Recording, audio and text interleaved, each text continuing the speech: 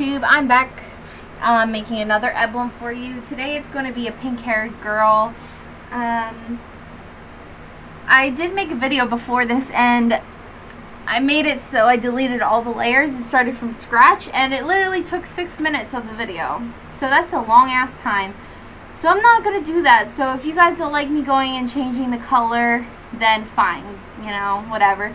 But I'm not going to take up all my time and your time to, you know, start from scratch and it probably won't be as good as this one because I'm not good with making things again the same.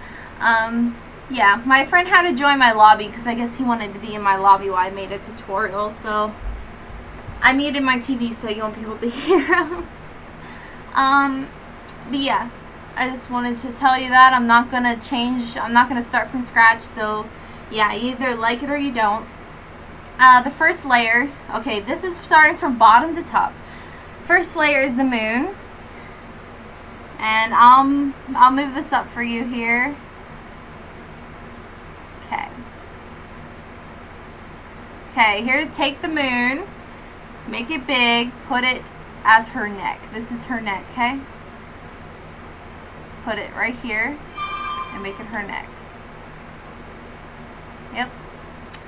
And then the other moon is right here for the other side of her neck. So you got her neck, and now you want her face. So, here is the bottom part of her face, under her actual head, I guess you want to say it. I made it black so you can see the chin part. So, here's the black under the actual face and it's these are three pointed shields. So you see that right there. Um, the next I'm going to show you the hair. The first one I'm going to show you is the phoenix which is right here. Okay. I put it there and I change it to a pink color. And next is, are the Watsits the first Watsit I guess I'm going to show you is right here And the next Watsit is right here. Make that pink or whatever hair color you want. Next for the hair is the angel wing, which is right here. Now let's go to the face. Uh, here's the grin for the nose and the lips. And for the necklace, toggle uh, the three-pointed shield, so it's just the outline, make it her necklace band.